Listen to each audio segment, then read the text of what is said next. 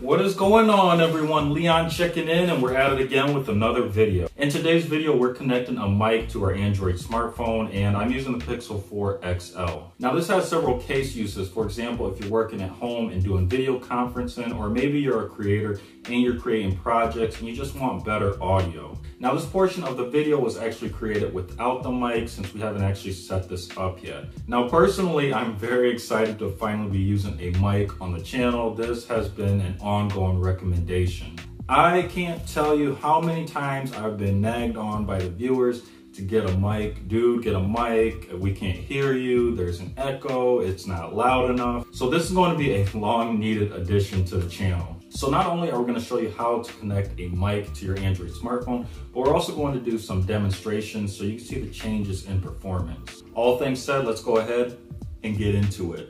Now this unboxing is pretty simple, so I went ahead and laid out all the items. What we have here is the mic, we have the cable to connect the mic to our Android smartphone, and we have instructions. Now, the interesting thing going on here is that it doesn't say anything about connecting this whole setup to an Android phone or an iPhone or a tablet.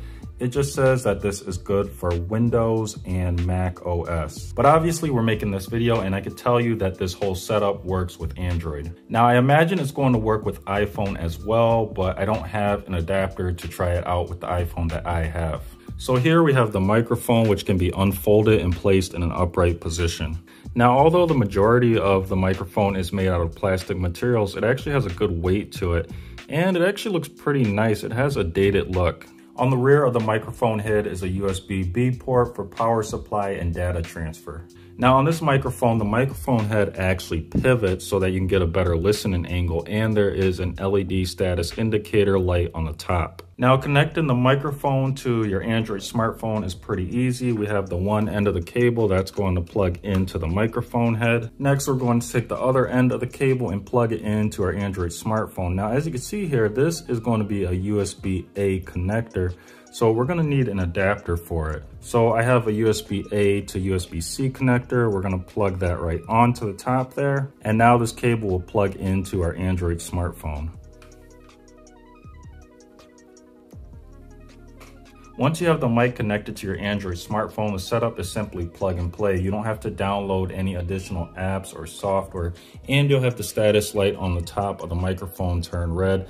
That's indicating that it's successfully connected. So now that we have everything connected here, we just have to connect the mic to our Android camera. And anytime I've plugged in the mic, we get this little pop-up notification that says swipe down for external mic. So we're gonna do just that. And then we're gonna see external mic. Right now it's off, so we want this selection to be blue, so we'll tap that. And now the external mic is ready to go. Okay, so this is what we sound like once we have the mic installed. Now I feel confident in saying that this probably isn't the best mic and I'm also going to have to experiment with its placement to get the best audio performance. Now this mic features twin condenser mic capsules which means that it can hear you from the front but if we turn it around here it should also be able to hear us from behind. So now that we have the mic turned around this is what we sound like. Now I want to play with this a little bit. I'm going to move it a little bit further away from me and see how we sound as well. So I actually went ahead and placed the microphone right next to the smartphone camera. So we're seeing how changing the position of that microphone is going to change the sound performance. Now I just disabled the mic as well. So now we're back to using the mic on the Pixel 4 XL. And again, this is all for comparison. Now I'm gonna go ahead and enable the mic again. And I think I'm gonna try to place it right underneath the table here and see how that affects the sound performance. Okay, so I went ahead and placed the mic right underneath the table here, and this is what I sound like now with it in that position. Now, of course, I'm not too sure how this sounds in all these different positions, so I'm going to take it and I think I'm just going to put it right next to the smartphone camera to play it safe. Hopefully this video is going to sound good, but as I make these videos, I'm going to change things, and I'm definitely going to be getting a better microphone eventually. This is just a starter, this is just to demonstrate. So final thoughts. Now I will say using a mic, even one like this lower end unit here, does improve the volume of my voice. Now of course I haven't experimented with any other microphones, but I'm thinking that if I get something a little higher end, I'm going to sound better. So I truly believe this is a situation where you get what you pay for. Now there is a con to using any mic like this that plugs into your smartphone and that is you can't charge your smartphone with a cable if you have a microphone like this plugged in with a cable as well. So you're going to want to make sure that your phone is fully charged before you use a microphone like this one. So that is it for today's video. If you enjoyed it and found it useful, please leave a like. If you have any questions or comments, as always, drop those down below and I'll do my best to answer